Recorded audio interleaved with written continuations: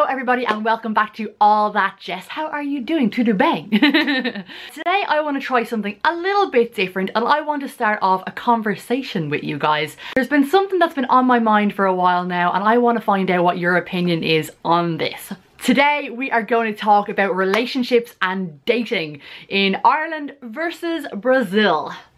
Let's do this.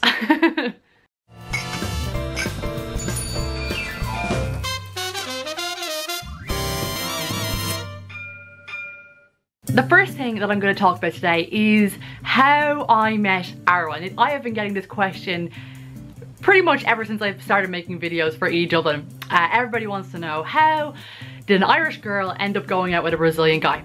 And let me tell you, I really wish that it was like some super duper romantic, beautiful story, but it's not. um, myself and Arwa, we met at pretty much like a house party. and um, he was very, very, very, very, very, very drunk. And he was standing in the kitchen. I walked past the kitchen door and I stopped. And I said to myself, oh, sweet baby Jesus. Oh my God, he is so beautiful. He's so handsome. I need him in my life. That's pretty much how it all began. um, after that, we kind of started talking, and if I'm honest, I did not understand a word he was saying because his English was so bad. Uh, I remember having to turn to my friends or other Brazilians and say, sorry, like, what, what is he saying? Can somebody translate this for me? Because it was not working.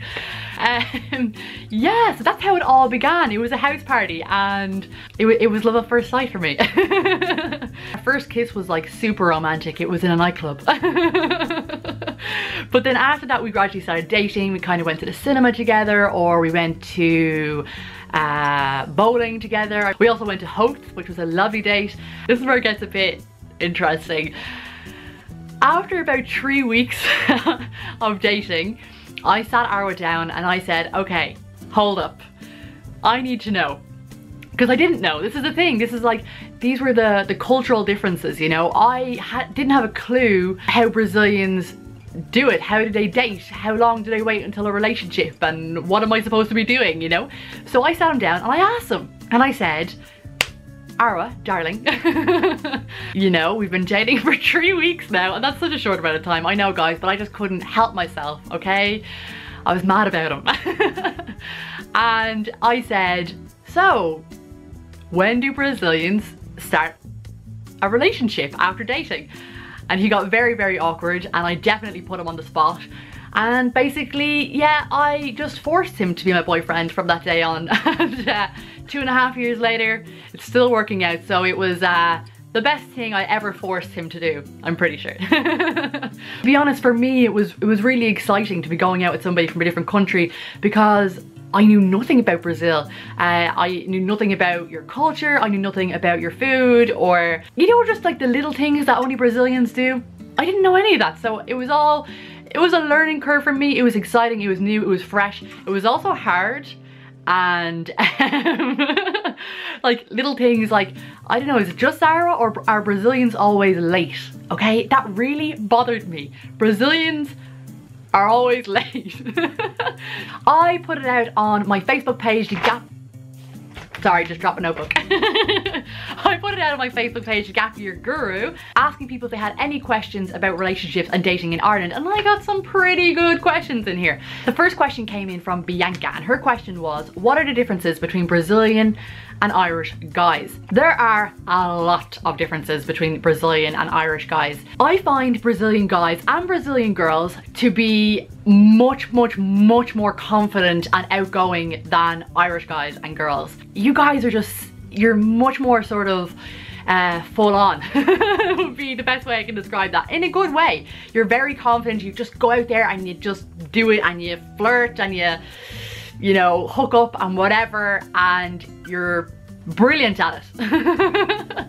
actually two weeks ago when I was celebrating Carnival in D2, I met a Brazilian girl who was dating an Irish guy and she said they'd been on three dates but it was going really really really slow and you know he wasn't really making any moves and like he wasn't you know trying to kiss her very much or anything like that and I had to try and explain to her that this is the difference between Irish guys and Brazilian guys because I think Irish guys are just slower they like to take things slower or they, they kind of get a little bit scared and they get worried that oh like oh what does what does a girl want to do? Or you know I, I don't know if she wants to do anything so I'm not going to do anything. Whereas I have never once seen a Brazilian guy do that. Now I could be wrong and if I'm wrong just leave a comment down below telling me I'm wrong.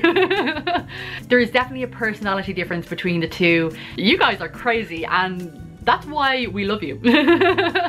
but it is definitely something that you're gonna have to get used to if you do want to hook up with an Irish guy or an Irish girl. This is a really interesting topic guys and I really want to know your opinion on it because something that I have come across a lot um, with Brazilians is cheating. What is your opinion on cheating?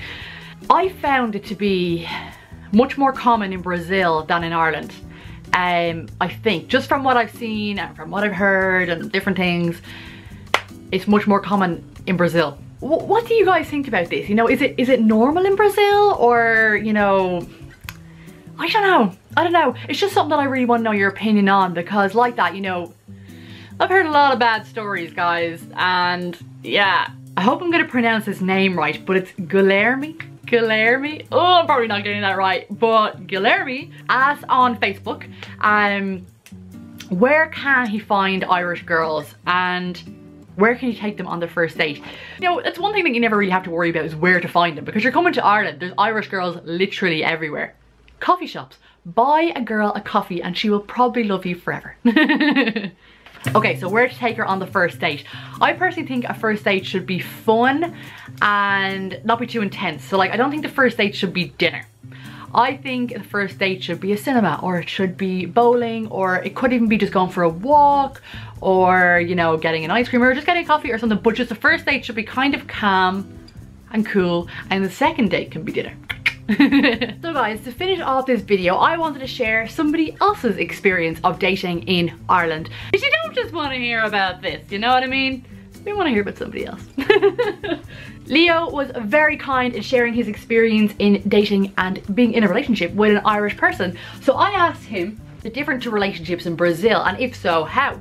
Yes and no at the same time. It's a fellowship as in any relationship, but communication is complicated at times. And that is very, very, very true. Communication is key in any relationship, but when you are dating a foreign person, that gets a little bit harder because you don't really understand uh, how they communicate their emotions and their feelings. Then I asked Leo, has he noticed any culture differences from being in a relationship with an Irish person?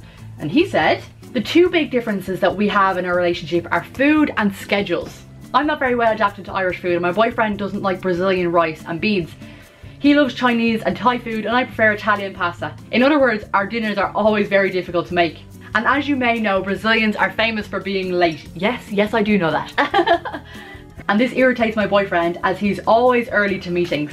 So there you go guys, I just wanted to share somebody else's experience in this video, but now I really want to hear about your experience. Whether it's dating in Brazil or dating in Ireland or relationships or whatever, I always want to hear your experience in all of this or if you have any questions or you have any tips or advice or anything, leave a comment down below, get involved in the conversation. You can also share this video with a friend who might be interested or maybe they have experience in this kind of thing as well and they'd love to get involved. Tag them, share it, link it, whatever you have to do. I am really looking forward to hearing back from you guys on this one. There are loads of topics to talk about in relation to relationships and dating in Ireland versus Brazil. Comenta aqui embaixo. Beijo, tchau.